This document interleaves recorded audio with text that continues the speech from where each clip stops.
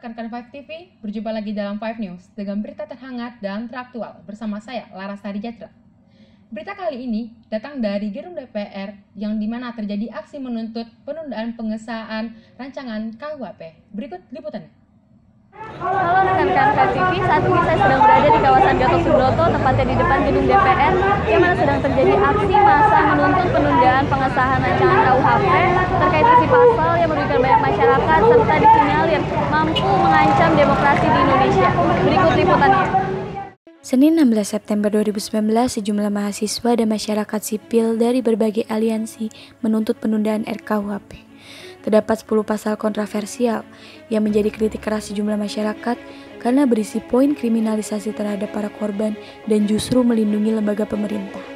Beberapanya adalah pasal tindak pidana terhadap kebebasan pers, pasal tindak pidana terhadap sosialisasi alat kontrasepsi yang seharusnya menjadi edukasi seksual dini, pasal tindak pidana terhadap para gelandangan dan orang miskin yang seharusnya dilindungi oleh negara, pasal tindak pidana terhadap perempuan yang melakukan aborsi, Hal inilah yang menjadi tuntutan masyarakat terhadap DPR terkait bentuk pembungkaman demokrasi di era reformasi. Di dalam KUHP ini banyak sekali yang bermasalah. Salah satunya yang paling bermasalah adalah dimunculkannya kembali pasal-pasal karet.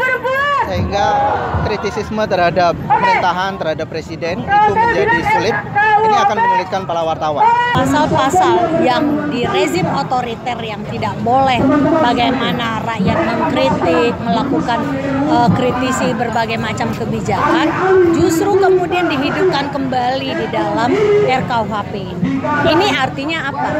Pemerintah kemudian membungkam dan memenjarakan rakyatnya tidak lagi boleh bersuara lantang. Itu kita harus menghapus pasal-pasal yang ngawur. Sebetulnya dari 600-an pasal, saya bilang Dewan uh, hanya seratusan lah yang ngawur. Saya bisa kita pertahankan. Tapi yang mana ada yang ngawur-ngawur ini harus dihapus. Sekian liputan yang dapat saya sampaikan.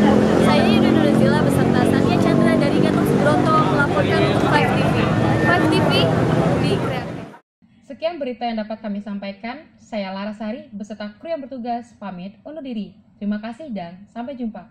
5 TV, be kreatif.